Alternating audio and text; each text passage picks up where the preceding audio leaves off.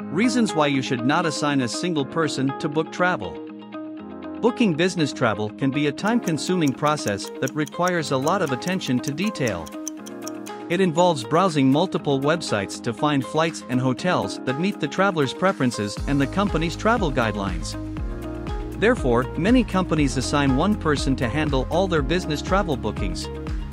Although this may seem like an ideal solution, let us see why this approach may not be the best. Increases the risk of errors. When you give the responsibility of managing travel bookings to a single person, chances that they may feel overworked and feel exhausted are very likely. This can result in them committing some mistakes, which can be inconvenient for employees. For instance, there may be chances that travelers may miss their flights or board the wrong flight. Receives inadequate support. Business travel is unpredictable, and travelers may require assistance at any time.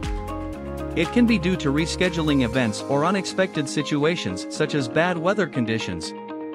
Making changes accordingly can be difficult when a single person handles the business travel process during such situations difficulty in optimizing travel spends.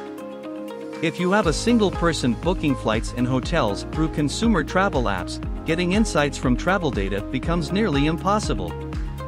You can get travel data on a single platform if you manage bookings with advanced software solutions such as ITILITE.